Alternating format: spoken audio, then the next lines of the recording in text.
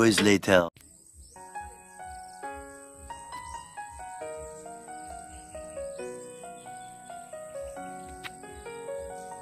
Hello guys!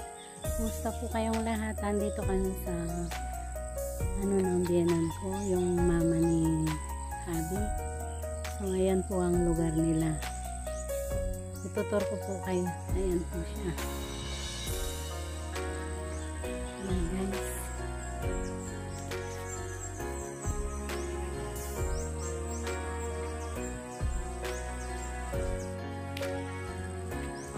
Ayan po guys, ang ganda ng ano dito. eh.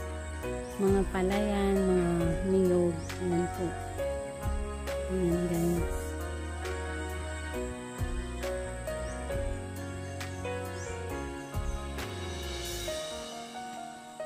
Mula po doon sa kanila yan, ayan po.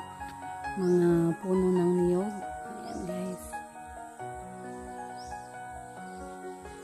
Tapos yung puno ng puno nila, ayan po nandoon. Hanggang doon, ayan po ang ganda ng ano.